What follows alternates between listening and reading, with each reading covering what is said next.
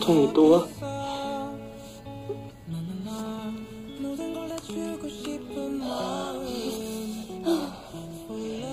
이제 거의 3분 간격이야. 좀만 참.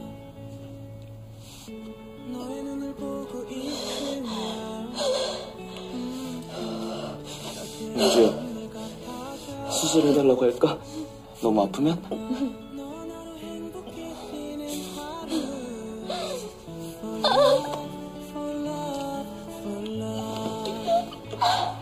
수술하자. 어? 너 너무 힘드니까 수술하자.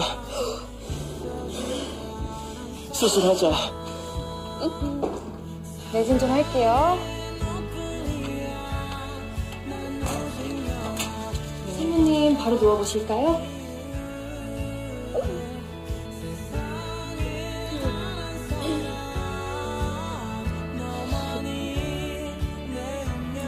애기가 곧 나오겠네요. 여기 산모 분만실 들어가요.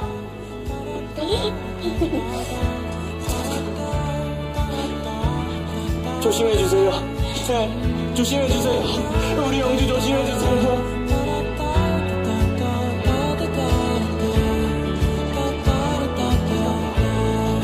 그럼 여기서 대기해 주세요.